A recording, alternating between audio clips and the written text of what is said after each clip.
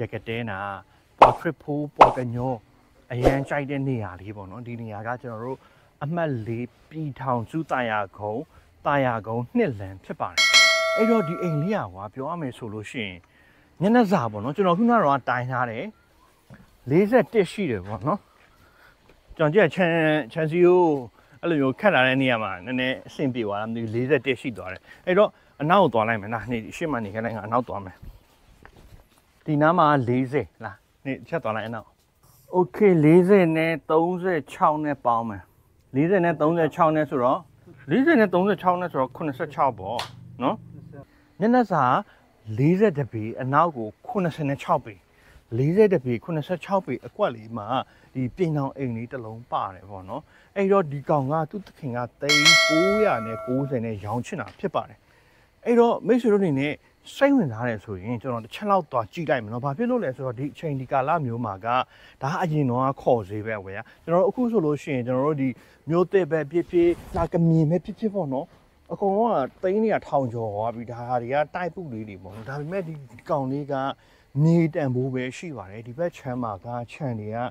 မယောင်းတလောက်ရှားတယ်ပေါ့နော်။ဒါကသူရက်ွက်လေးနဲ့သူသူကသူအေးစိတ်ငြိမ်လေးနေကြတယ်။နောက်ပြီးတော့ အခြားအပိုင်းတွေထဲမီးမှန်တဲ့အထဲမှာလည်းပို့ပါတယ်ပေါ့နော်အရင်တော့ဆိုရင်တော့မီးအမြင်မှန်တယ်ပေါ့ဒါပေမဲ့အခုကတော့မီးသိမ့်မမှန်တော့ဘူးဆိုပေမဲ့အများထဲတော့တာသေးတယ်ဆိုတဲ့အနေအထားလေးဖြစ်ပါတယ်အဲ့တော့ဒီကောင်က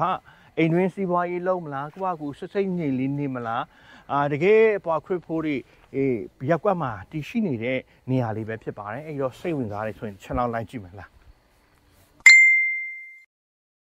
ဒီချန်လေးထဲမှာကွာဝင်လိုက်တာနဲ့ အုပ်ဆိုင်နေသေးတယ်ပေါ့နော်အပင်လေးတွေကတိတ်မများဘူးဆိုပေမဲ့လည်းသူ့နေရာနဲ့သူကအပင်ရှိတဲ့နေရာမှာရှိတဲ့အတွက်ကြောင့်မလို့ဘယ်လိုပြောမလဲအရေးအေးတယ်ဆိုတဲ့အနေထားလေးဖြစ်တယ်ပေါ့နော်နောက်ပြီးတော့ဒီဘက်ချမ်းမှာရေတွင်းတစ်လုံးရှိပါတယ်ရေတွင်း30ပေါ့နော်โอเคရေတွင်းတစ်လုံးရှိမယ်အိမ်ရှိမှာရေတွင်းတစ်လုံးရှိတယ်ဒီရေတွင်းကြီးကဒီအိမ်ကြီးကိုအပြည့်ယူထားသလိုမျိုးပေါ့အဲ့လိုမျိုး feeling လေးတော့ခံစားရတယ်ပေါ့နော်ဒါပေမဲ့လည်းဒီကောင်လေးက ဒီနေရာလေးကတိတိချာချာ landscaping လုပ်လိုက်မယ်ဆိုလို့ရှိရင်ရန်နေလို့ကောင်းမယ့်နေရာလေးတွေလို့ကျွန်တော်ထင်ပါတယ်နော်အဲ့တော့ဒီမှာကဒါကအိမ်ဒီဇိုင်းကလာတော့ကြည့်မယ်ဆိုရင်တော့ဟောင်းနေပြီပေါ့နော်ဒါပေမဲ့ကျွန်တော်သာပေါ့နော်ကျွန်တော်စဉ်းစားတယ်ကျွန်တော်သာမြေဝယ်ရမယ်ကိုယ့်ကိုယ်ပိုင်တီးသန့်အိမ်နဲ့နေရမယ်ဆိုလို့ရှိရင်ကျွန်တော်ကဒီအပိုင်းလေးတွေကျွန်တော်ရွေးมาဖြစ်ပါတယ်ဘာလို့လဲဆိုတော့အရန်စိတ်ငြိမ်အေးချမ်းပြီးတော့နောက်ပြီးတော့ပတ်ဝန်းကျင်က ဘယ်လိုပြောမလဲရိုးသားတဲ့ပတ်ဝန်းကျင်ပေါ့နော်ဒီဂုံပကာသနာတွေထက်ဒီမျိုးရိုးရိုးသားသားနဲ့ကိုယ့်အကူအေးအေးဆေးဆေးလေးတတိုက်ဝိုင်းလေးနေထားတဲ့ပတ်ဝန်းကျင်လည်းဖြစ်တယ်နောက်ပြီးတော့အရှိထွက်လိုက်ရတဲ့ဒီပြည်တော်စုဆိုတဲ့တကယ်စီကားတဲ့အဲဒုတိယဖန်မြို့တော်မြို့တွေပေါ့နော်အဲ့လိုမျိုးနေထားလေးရောက်တယ်ဆိုတော့ကအာဒီဘက်ချမ်းမှာစိတ်ငြိမ်အေးဆေးလေးနေရမယ်ဟိုဘက်ထွက်လိုက်တာ ਨੇ အာတကယ်ဒေါင်ထောင်းအနေထားမျိုးလေးပြန်ဖြစ်သွားတယ်ဆိုတော့အရန်မိုက်တယ်အရန်ရွေးချယ်စရာကောင်းတဲ့နေရာမျိုးဖြစ်ပါတယ်အဲ့တော့ကျွန်တော်အပေါ်တက်အောင်လား ကဲအိမ်ကတော့ဘယ်လိုပြောမလဲအိမ်ပါတယ်ဆိုတော့ဗျာဝင်ပြလိုက်မယ်ပေါ့နော်လောလောဆယ်ကိုကမနေသေးဘူးငှားထားမယ်ဆိုလို့ရှိရင်လည်းငှားထားလို့ရမယ့်အနေအထားမျိုးဖြစ်ပါတယ်ဟာနော်တော်ပြားစီငါကြီးတူရင်ဖြစ်တော်မူ၏အဲဘာညာပေါ့နော်ဒီဟုတ်လားဒါဒါခရစ်ယာန်အိမ်ဆိုတော့ဖျားစင်းနေပါလေတော့မရှိဘူးဒီဒီဇိုင်းကလာမှာကြည့်ဒီကောင်တစ်ချက်ရှိုးဒီကောင်ကကျွန်တော်တို့ငငယ်တော့ခေတ်ကဒီဇိုင်းကလာလေးတွေနော် အနေထားတော့မြင်တွေ့ရတဲ့အတိုင်းပါပဲအိမ်ကတော့ဩပြုပြင်ရမယ်ပေါ့နော်ကိုကဒီကောင်လက်ရှိနေမယ်ဆိုလို့ရှိရင်တော့နေတော့ခါရှင်တယ်ဒါပေမဲ့ကျွန်တော်ဝယ်ရများဆိုတော့လေနော်โอเคဒီမှာအနေထားလေးတွေချက်ကြည့်မယ်ဒီမှာအခန်းတစ်ခန်းရှိမှလားဟဲ့အခန်းတစ်ချက်တော့ဝင်ကြည့်ဟွန်းဒီမှာအခန်းတစ်ခန်းအခန်းအကျယ်ကြီးတစ်ခန်းရှိမယ်အဲကန်ရှိတယ်ဘရန်ဒါရှိတယ်ဆိုတဲ့အနေထားလေးပဲဖြစ်ပါတယ် ဒါကအနောက်ဖေးသွားမယ်ဆိုလို့ရှိရင်ဒီနောက်ဖေးမှာမိဖို့ရောင်ရှိရပေါ့နော်ဟေး grand ဒီနောက်ဖေးမှာဆိုလို့ရှိရင်ဒီမှာမိဖို့ကြောင်ကနေပြန်ထွက်ပြီးတော့အိမ်သာရေချိုးကန်အပြင်မှာအုံနေရှိတယ်ဆိုပေမဲ့လည်းဟောင်းနေပြီပေါ့နော်ကြာနေပြီအဲ့တော့ဒါကခြံစည်းပဲရှိပါတယ်ခြံကိုရောင်းတဲ့သဘောမျိုးပေါ့နော်အိမ်ကတော့ကျွန်တော်ကအာလာပြတာဖြစ်ပါတယ်အကေဒီအိမ်လေးသာဟာကိုကငှားမယ်ဆိုလို့ရှိရင်လည်း အနည်းဆုံးကတသိန်းလောက်တော့ပြေးမလွတ်ဘူးပေါ့နော်ဒီလိုမျိုးအိမ်အနေထားနေရနော်ဒီတော့တွေပါတွေလည်းအကုန်လုံးကောင်းသေးတယ်နော်အပေါက်ပြဲတွေပါမရှိဘူးအိမ်ကတော့နေလို့ရတယ်ဒါပေမဲ့ဟိုဘယ်လိုပြောမလဲအရန်လူအများကြီးတော့တိတ်အစ်စ်မပြူဆိုတဲ့အနေအထားလေးဖြစ်ပါတယ်ကဲကျွန်တော်တို့အောက်ပြန်ဆင်းပြီးတော့နှိကုံချုပ်ရအောင်လားဟုတ်မယ်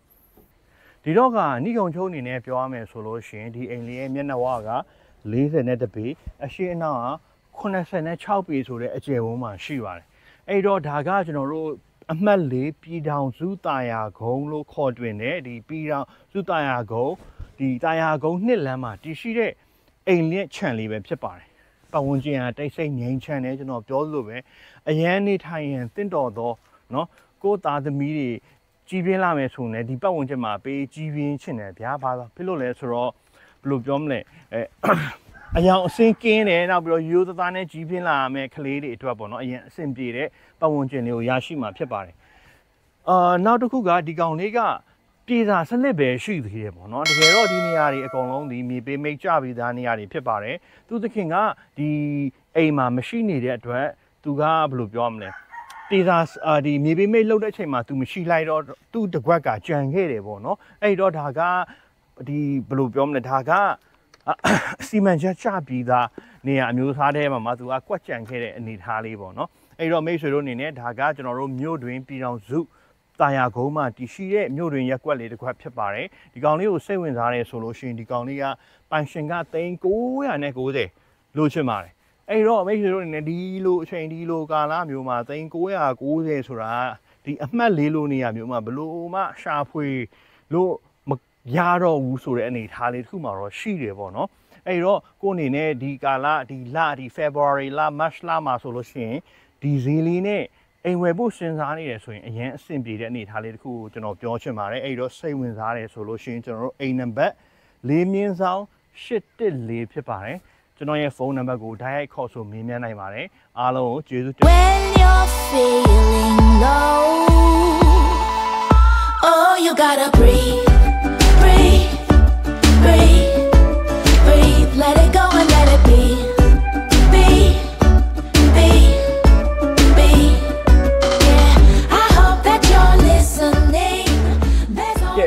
ဝန်းကျင်နေချက်လောက်လိုက်ကြည့်မယ်ပေါ့နော်ဒီနေရာလေးကကျွန်တော်လည်းစိတ်ဝင်စားတယ်ဒါဒီအရှိမအရင်တော့လမ်းမပေါက်ဘူးပေါ့နော်အခုလမ်းပေါက်ပြီလားလို့ငားကန်အောင်နော်ဒီနေရာအရင်တော့ငားကန်အနေရအနေထားလေးတွေဖြစ်ပါတယ်အဲ့တော့ကရှေ့မှာတော့လမ်းပေါက်ပြီကွာဒီလားဟိုဒီနေရာမှာအတိတွေများတယ်ပြုံပြုံပြလူတွေများတယ်အော်ဒီလိုမျိုးဒါကကျွန်တော်တို့ပြောင်းဥသားကုန်းတစ်လမ်းနဲ့ပြန်ပေါက်တယ်ပေါ့နော် โอเคဒါသူ့အနောက်လန်ချားလေးကိုကျွန်တော်တစ်ချက်လောက်လာကြည့်တာဖြစ်ပါတယ်ကဲရမ်းမိုက်ပါတယ်ဗျာเนาะဒီနေရာလေးကရွှေပဲပတ်စံရှိလို့ရှိရင်ဒီနေရာမျိုးလေးတွေကဝယ်ယူတင်တယ်အဲဒါကျွန်တော်တို့ပြည်တော်စုတာယာကုန်းတစ်လန်ဖြစ်ပါတယ်ကျွန်တော်ခုနပြတာနှစ်လန်ပေါ့เนาะတော်တော်မိုက်တယ်ဒီနေရာလေးတွေကအရင်ကြိုက်တယ်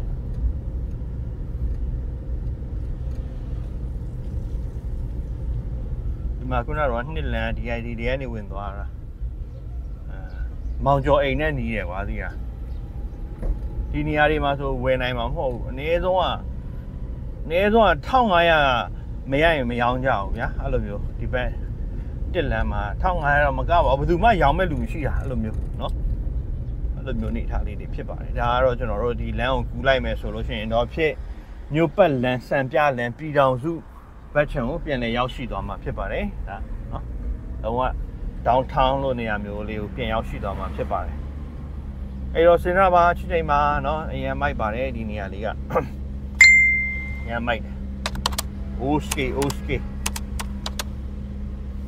အရှိမကကျွန်တော်တို့အထက်ကလေချောင်းရှိရဗျာနော်အဲ့တော့တာသမီချောင်းထားမယ်ဆိုလို့ရှိရင်လည်းဆိုရချောင်းထားမယ်ဆိုလို့ရှိရင်လည်းအရန်အဆင်ပြေတယ်အရန်နီးတယ် အကုန်ဈေးနီးကြောင်းနီးအကုန်နီးပေါ့ဗျာပြောင်းစုဈေးလည်းရှိတယ်ဘာညာပေါ့နော်အဲ့လိုမျိုးနေထားလေးဖြစ်ပါတယ်ပြောကြမလို့ပါဘူးဒီနေရာတွေကတော့အရန်ကိုအဆင်ပြေတဲ့နေရာလေးပဲဖြစ်ပါတယ်ကျေးဇူးတင်ပါတယ်